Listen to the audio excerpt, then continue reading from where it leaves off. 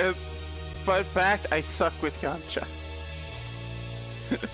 Let me show you exactly why you need to fight for real.